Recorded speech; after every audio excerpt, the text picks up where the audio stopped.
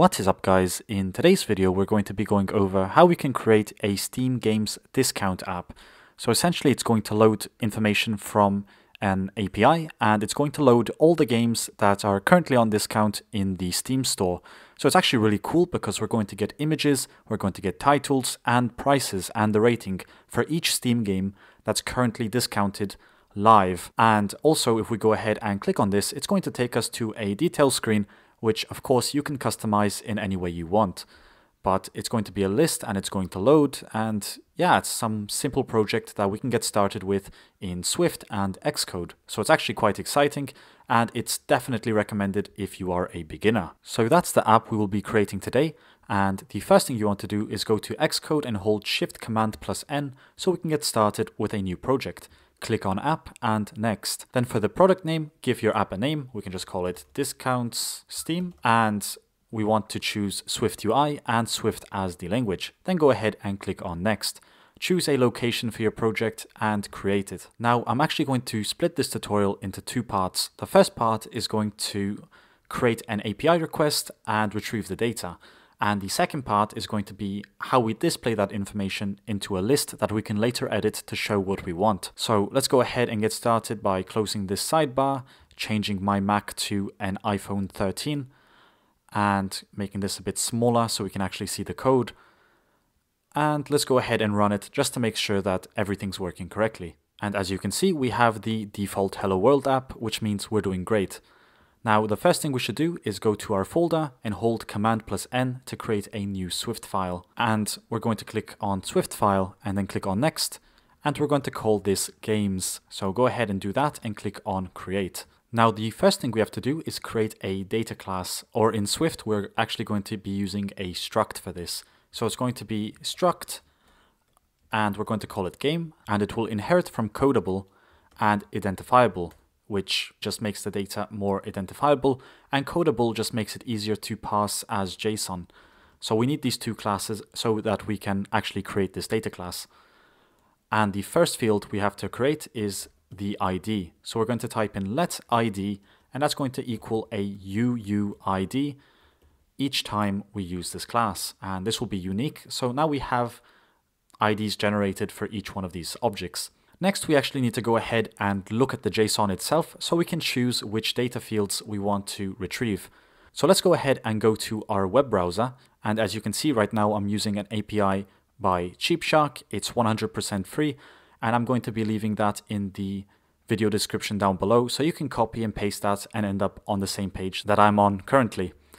And if we scroll down under deals, you're going to find a GET request that says get list of deals, and we're going to go ahead and copy this link and paste it in Google. And what you should get is a JSON result. And the nice thing about modern web browsers is that it formats it for us. Otherwise, you'll probably see something like this, which is quite scary.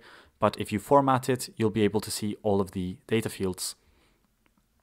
So what we're interested in is the title, the sale price, the normal price, the Steam rating percent, and the thumbnail, this one down here. So those are the values I'm going to be using and let's get started immediately by first referring to the title, so var title, which is of type string, then var normal price, which is of type string as well. And it's very important that you realize that this is camel case and it has to be exactly the same as from the JSON file.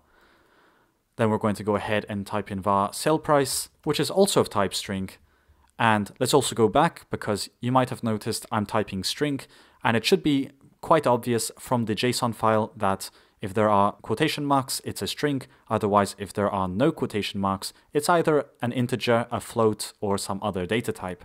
So you need to make sure you actually pick the correct data type or else the program will not know how to pass it. Then we have var steam rating percent of type string and the last one I'm going to use is the thumbnail. So var thumb is going to be of type string. And you may have noticed as well that these are not all of the data fields from the JSON. And you're more than welcome to use all of them if you want, but I'm not going to be using all of them. So these ones will suffice, and these are the only ones I'm telling the program that we're going to use. And the compiler is giving me the warning that I made the ID a data type instead of assigning it. So make sure to replace that with an equal sign. And it's going to give you this warning, but it's safe to ignore this warning because if you actually try to fix that with the suggestion that the warning gives you, the program crashes. Up next, we're going to create a class called API.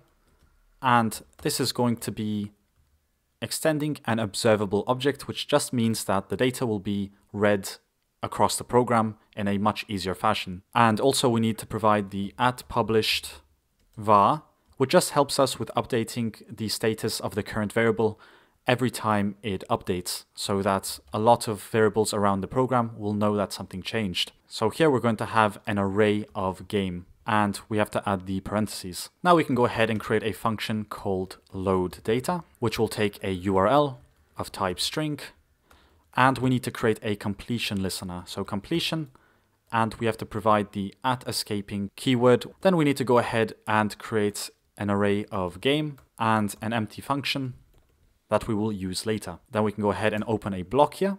And inside this block, we're going to guard let the URL equal a URL. And for the string parameter, we need to provide the URL that we choose to insert. And if that is false for whatever reason, we need to print the URL was invalid exclamation marks so people know it's serious and they take us seriously. Then we should also return out of this so nothing crashes. Otherwise, why are you unhappy? You're always unhappy, and the program's unhappy because I wrote fun and not function. But right below this guard statement, we're going to go ahead and create a URL session. And it's going to be URL session.shared data task. And inside here, we need to specify a target, which is going to be the URL. And we're going to use data, response, and the error from this in the following code. So let the games equal try, exclamation mark, JSON decoder dot decode. And inside here, first we want to decode the game dot self from the data that we know is not nil because we went ahead and made sure that this would work. Then we can go ahead and print the games just for debugging purposes. And we also need to create a dispatch queue so that we can try to run this on a thread that will give us the result. So async and inside here we have the completion listener which will return to us the games. And to make sure that this actually takes place, we need to call dot resume. So this code is actually going to retrieve the JSON and it's going to give us all of these fields so that we can actually use it in the UI. But now let's go ahead and go to our content view and we can close the sidebar because we will not be using that anymore. And as soon as this text view loads, we're going to go ahead and call on appear. And we don't need the code inside here, we just call on appear and we open a block. So as soon as this view loads, it's going to call the following function. And to do this, we're going to call API with parentheses dot load data. And now we need to go to the API, copy this link and paste it inside right here.